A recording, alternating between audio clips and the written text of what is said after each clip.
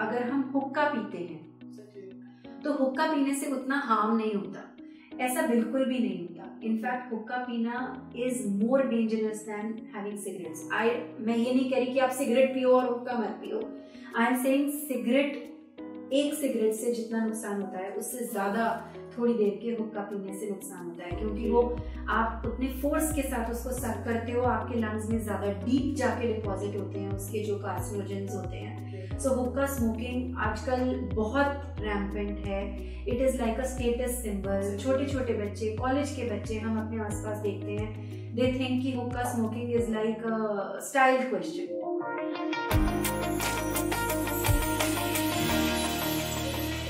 Indians में ना एक प्रॉब्लम मैं ये कहूँगी कि कोई भी चीज़ कोई भी बीमारी को वो स्टार्टिंग में सीरियसली नहीं लेते हैं। तो जैसा आपने बताया कि खांसते खांसते खून हो गया या फिर थकान हो रही है तो कुछ लोग क्या करते हैं कि स्टार्टिंग में ही वो अपना होम ट्रीटमेंट शुरू कर देते हैं और कुछ कुछ खाने लगते हैं कुछ पीने बनाने लग जाते हैं। तो आ, मैं जानना चाहूँगी कि सच में आ, अगर कुछ ऐसे अर्ली साइंस एंड सिम्टम्स हम देख रहे हैं तो क्या ऐसे कुछ होम ट्रीटमेंट्स हम कर सकते हैं कि हम इससे या फिर प्रिवेंट कर सकते हैं लंग कैंसर को?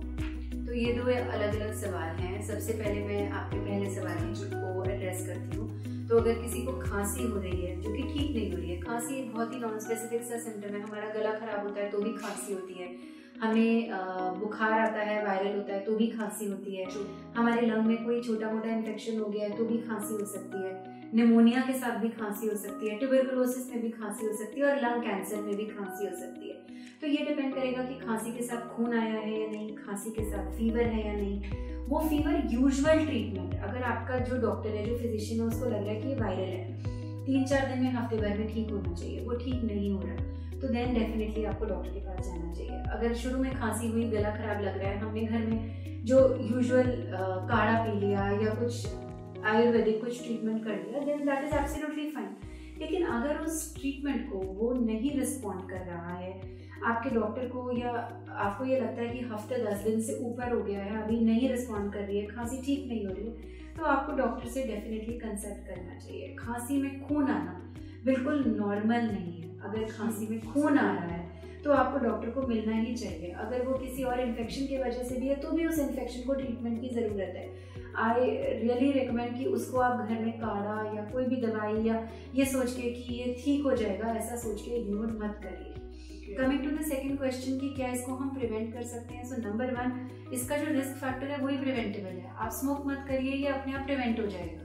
वो प्रिवेंशन 100 परसेंट नहीं है लेकिन 95 टू 98 परसेंट तो प्रिवेंटेबल है। सेकेंड जो रिस्क फैक्टर है वो है पोल्यूशन उसको भी हम लोग इंडिविजुअल लेवल पे अपने अपने लेवल पे धीरे धीरे करके प्रिवेंट कर सकते हैं। सो so, हमें हर वो तरीका हर वो स्टेप लेना चाहिए जिससे हम पोल्यूशन को प्रिवेंट कर पाए। वो हमारे लिए हमारी नेक्स्ट जनरेशन के लिए बहुत इम्पोर्टेंट है। True true totally true ma'am मैं ये जानना चाहूँगी कि क्या लंग कैंसर में जेनेटिक्स का भी कुछ रोल हो सकता है? So lung cancer mostly genetic नहीं होता फैमिलीज़ में नहीं रन करता। जो रन करता है वो स्मोकिंग uh, की हिस्ट्री होती है। Okay. कि फादर ने स्मोक किया तो उसको देख के बच्चों ने भी स्मोक करना शुरू okay. कर दिया तो वो स्मोकिंग की वजह से हुआ। वो ऐसा नहीं है कि फैमिलीज़ में रन कर रहा है। लंग कैंसर जेनेटिक्स में इस तरह से रोल होता है? अभी मैंने आपको म्यूटेशन के बारे में बताया। तो हम जो टिश्यू को टेस्ट करते हैं बायोप्सी करके अगर उसमें वो पर्टिकुलर म्यूटेशन पॉजिटिव होती है वो एक जेनेटिक ही टेस्ट हुआ। वो म्यूटेशन पॉजिटिव होगी तो हम एक स्पेसिफिक तरह की थेरेपी दे सकते हैं। लंग कैंसर के ट्रीटमेंट के लिए जिसके रिज़ल्ट अच्छे होते हैं। ओके मैम जैसे आपने बताया कि लंग कैंसर को प्रिवेंट कर सकते हैं स्मोकिंग ना करके और अपना थोड़ा ध्यान रखकर पोल्यूशन से दूर रहकर मैं ये भी जानना चाहूँगी कि ऐसे इनके अलावा कुछ ऐसे लाइफस्टाइल चेंजेस हैं जिससे कि हम अपने लंग को और स्ट्रॉन्ग कर सकते हैं और इससे हम दूर रह, रह सकते हैं कैंसर से? सो इन जनरल कैंसर से बचने के लिए healthy lifestyle is important healthy lifestyle का मतलब क्या है कि आप एक हेल्दी बैलेंस्ड डाइट खाएँ। डाइट में कोई ऐसा मैजिक इंग्रेडिएंट नहीं होता जिसको खाने से हम कैंसर को बचा पाते हैं। हमारी डाइट में कार्बोहाइड्रेट्स प्रोटीन्स विटामिन मिनरल्स सारे फ्रूट्स एंड वेजिटेबल्स जिससे हमें फाइबर मिले, पानी, ये सारी चीज़ें एडिक्वेट क्वान्टिटीज़ में होनी चाहिए। सेकेंडली एक एक्सरसाइज uh, का मॉडरेट अमाउंट ऑफ़ एक्सरसाइज का रूटीन होना चाहिए। थोड़ी सी फ़िज़िकल एक्टिविटी हमारे रूटीन में हमेशा होनी चाहिए। ज़रूरी नहीं है हमें जिम जाना है। Simple walk brisk walk some jogging some kind of yoga at least 40 45 minutes का exercise routine daily basis पे होना चाहिए। Thing is sleep is very very important. Sleeping for at least 6 to 7 hours is very very important for our body हमारी body heal करती है sleeping के time पे। हमारा माइंड रिफ्रेश रेजुविनेट होता है, जब हम नींद लेते हैं। वो नींद किसी भी समय नहीं होनी चाहिए। उस नींद का भी पैटर्न होना चाहिए। रात को 10-11 बजे तक सो जाना चाहिए और सुबह को 5-6 बजे तक उठ जाना चाहिए, क्योंकि हमारे बॉडी में हॉर्मोन्स भी इसी पैटर्न में रिलीज़ होते हैं। तो नेचर ने हमारी बॉडी में जो रिदम बनाया, अगर हम उस रिदम को फॉलो करेंगे तो हम ज़्यादा अच्छा ध्यान रख पाएँगे हमारी body and definitely healthy life style means कि स्मोकिंग नहीं करिए ड्रिंकिंग नहीं करिए अल्कोहल की। और अच्छा खाना खाइए बहुत ज़्यादा प्रोसेस्ड फ़ूड मत खाइए। बहुत ज़्यादा प्रेजर्वेटिव वाला खाना मत खाइए। नॉन वेजिटेरियन में रेड मीट की क्वांटिटी लिमिटेड रखिए। So all these healthy life styles help की हम कैंसर को प्रिवेंट कर पाए। Healthy lifestyle is very very important it is absolutely ma'am अगर बात करें मिथ्स एंड मिसकंसेप्शन की तो हर एक बीमारी को लेकर कुछ ना कुछ तो मिथ्स होते ही हैं सबके माइंड में। और आप इस चीज़ को ट्रीट कर रहे हो, इस प्रॉब्लम को ट्रीट कर रहे हो तो आपके सामने भी बहुत सारे मिथ्स आते होंगे।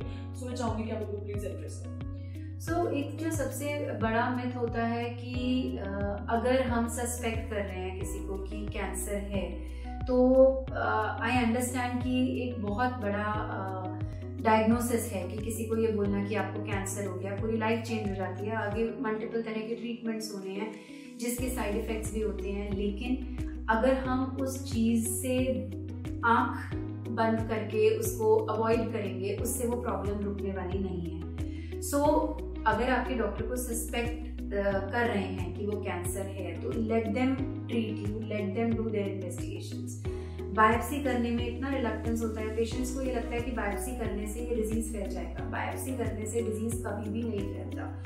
इनफैक्ट बायोप्सी करने से हम ये कंफर्म कर पाते हैं कि ये कैंसर है या कुछ और है।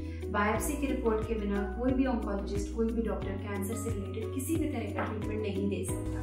तो अगर हम उसको कंफर्म ही नहीं करेंगे, अगर हम उसको रूल आउट ही नहीं करेंगे कि ये कैंसर है या नहीं है, हम अपने ट्रीटमेंट में आगे नहीं बढ़ सकते।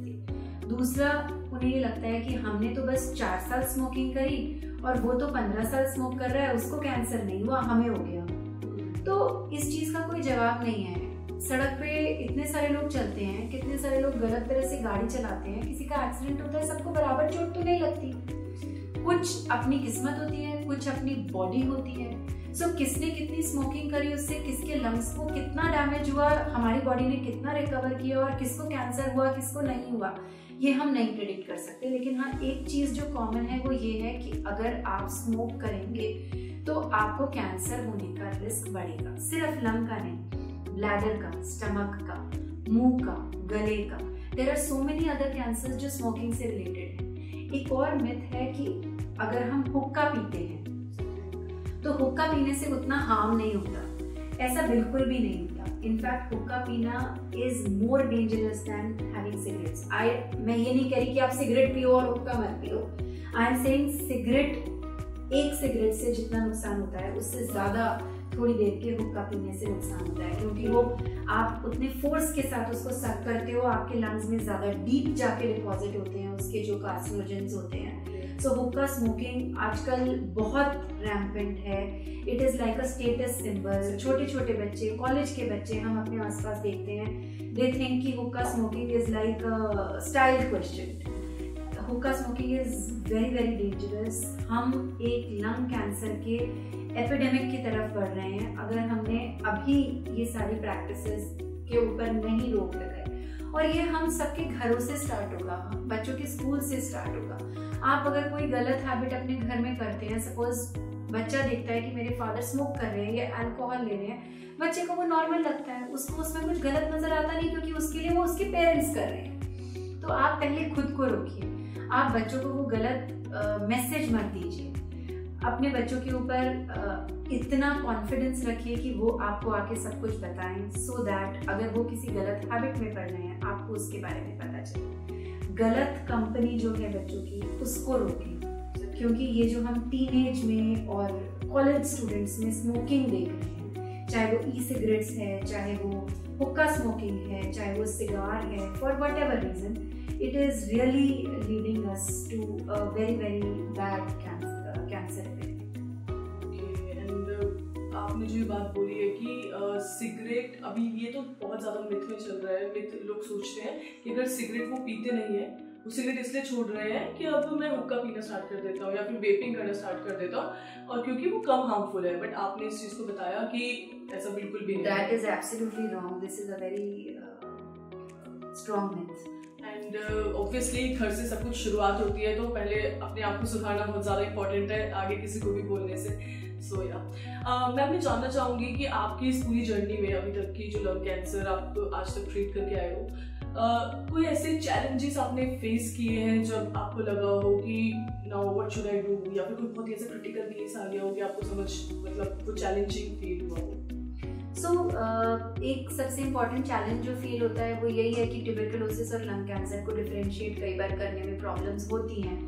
कई बार हम जब बायोप्सी लेते हैं तो ऐसा होता है कि एक बार बायोप्सी ली लेकिन हमें सही डायग्नोसिस नहीं मिला।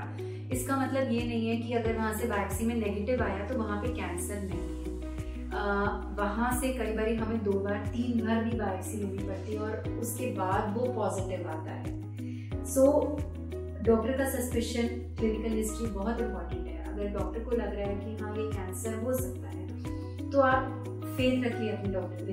एक बार बायोप्सी में नहीं आया।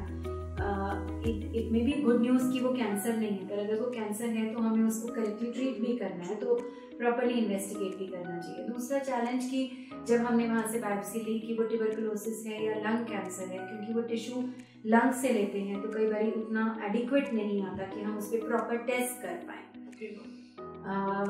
चैलेंजिंग केसेस में most of the times smoking की हिस्ट्री होती है so we feel very bad sitting in the OPD कि इतना कुछ पैकेट के ऊपर लिखा होने के बाद भी कि smoking is injurious to health ये मैसेज मूवी हॉल्स में होता है, ये मैसेज ऑटो के पीछे होता है, ये मैसेज टीवी पर होता है, ये मैसेज बच्चों को पढ़ाया जाता है, फिर भी smoking is so so rampant इतने लोग स्मोक करते हैं। और उसके बाद वेन दे कमेंट टेलर्स कि हमारी स्मोकिंग की इतने साल की हिस्ट्री थी और वी सी लंग कैंसर है we really feel very bad lung cancer unfortunately early stage में हम बहुत कम पकड़ पाते हैं, क्योंकि जैसे मैंने कहा कि या तो हम ट्यूबरकुलोसिस के साथ उसको कंफ्यूज कर रहे होते हैं या फिर अर्ली स्टेज में उसके वो सिम्टम्स नहीं आते हैं। सो एडवांस स्टेज में जब आता है डिज़ीज़ तो उसके क्योर रेट्स कम हो जाते हैं। अर्ली स्टेज में जब हम उसे पकड़ते हैं तो हम उनको पूरी तरह से ठीक करने का चांस बेटर मिल पाता है। इसके लिए एक इंपॉर्टेंट टूल है हमारे पास स्क्रीनिंग हम कर सकते हैं। सो so, जिन लोगों ने बहुत सालों तक स्मोकिंग करी है अब वो स्मोकिंग छोड़ना चाहते हैं या छोड़ चुके हैं फॉर सम ईयर्स तो उन लोगों में हम लो डोज सीटी स्कैन कर सकते हैं।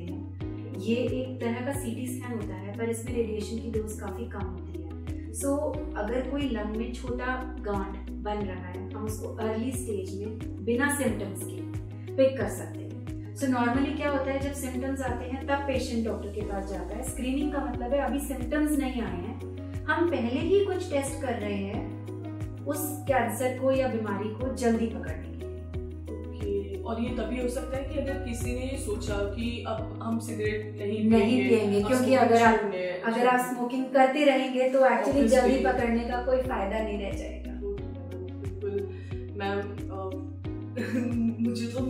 माइंड अभी ऐसे ब्लोन हुआ है आपकी बातें सुनकर मुझे लगता है कि हमारे जो व्यूअर्स हैं, उनको बहुत ज़्यादा अवेयरनेस मिली होगी। टू कंक्लूड दिस इंटरव्यू मैं चाहूँगी कि आप हमारे जो व्यूअर्स हैं लिसनर्स हैं, उनको प्लीज़ कुछ एडवाइस और सजेशन दीजिए। आपने ऑलरेडी बहुत अच्छी अच्छी बातें बहुत ही थॉटफुल तरीके से आपने बताई हैं एंड मैं चाहूँगी कि कुछ एडवाइस और हो जाए। So first and foremost will be कि अडॉप्ट हेल्दी लाइफस्टाइल अपना लाइफस्टाइल अच्छा रखिए ना सिर्फ़ लंग कैंसर बाकी सभी कैंसर से बचने के लिए। देखिए most common cancer breast cancer है हेड एंड नेक कैंसर है लंग कैंसर है। Uh, ये सारे प्रिवेंटेबल हैं। हम स्मोकिंग नहीं करें हम टोबैको च्यू ना करें हम अल्कोहल का कंजम्पशन नहीं करें। हम खाना पीना अच्छा लें मेजोरिटी कैंसर्स अपने आप अवॉइड हो जाते हैं।